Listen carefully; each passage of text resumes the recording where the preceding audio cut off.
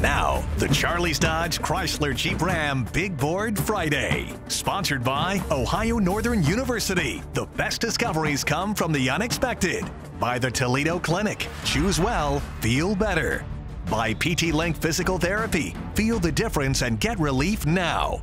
And by Fricker's, the home for fun, food, sports, and spirits. Now, here's Jordan Strack. Welcome into Charlie's Dodge Chrysler Jeep Ram Big Board Friday. I am Jordan Strack. Tonight we are excited to bring the show on the road to Frost Kalnow Stadium here in Tiffin. Our show tonight going to look a little different. We are down to just eight teams playing across each division in Ohio. We also have four playoff games from up in the state of Michigan. But let's get started with our game of the week here in Division 3. Columbian welcoming in Holy Name. Columbian eliminated by them just 363 days ago. And tonight, looking for some revenge, Columbian would come out and strike first in this one. Late first quarter, Logan Beeston from 26 yards out finds LJ Reeves in the end zone. It's 7 0 Tiffin Columbian. Same score here late second quarter. Huge play for the Tornadoes. Seth Belville steps in front of a pass, takes it the other way. That is a pick six. It's 14 0 Columbian at the half. Coming to the second half now, trying to add to that lead.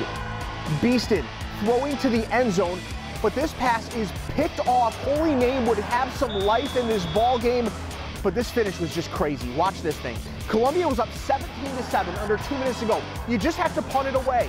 But it's blocked in holy name. Scoops and scores. It's a 17-14 game. Oh no. So ensuing onside kick.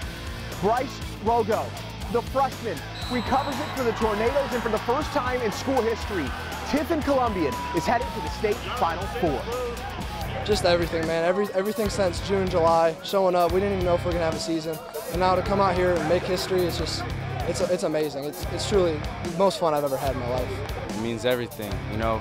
It wasn't just us, it was the seniors from last year. They set, they set the path for us, and I can't thank them enough. Obviously, a tremendous amount of pride, um, you know, being an alumni and, uh, and coming back and really living a dream, you know, getting a coach um, where I watched so many games, got to play so many games.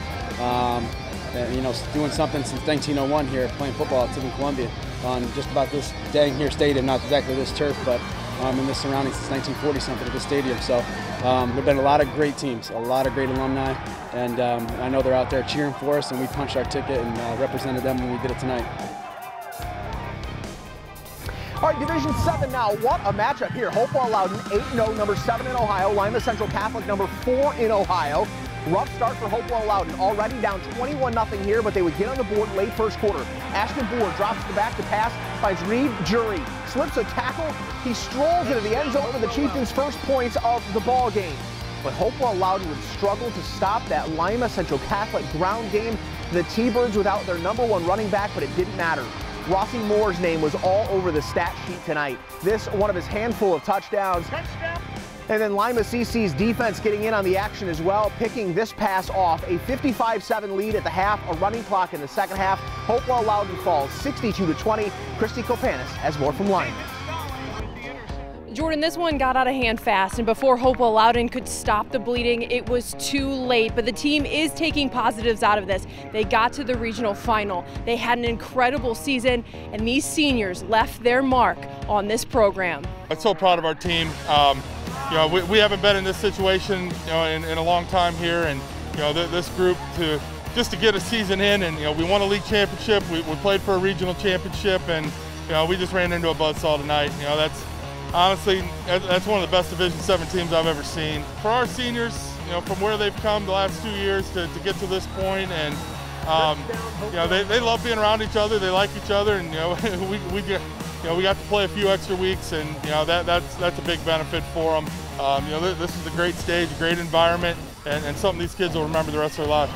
So Hopewell Loudon's incredible run ends here tonight in the regional final, but this team very proud of the season that they put together. Reporting from Lima tonight, Christy Kopanis, WTOL 11. All right, Christy, thanks so much. It is time for our first break. When we come back, we are heading up to the state of Michigan. It is the second week of the playoffs north of the border. We've got Blissfield, Ida, Sand Creek, Monroe SMCC, and Whiteford all on the docket. That is coming up next on Charlie's Dodge Chrysler Jeep Ram Big Board Friday.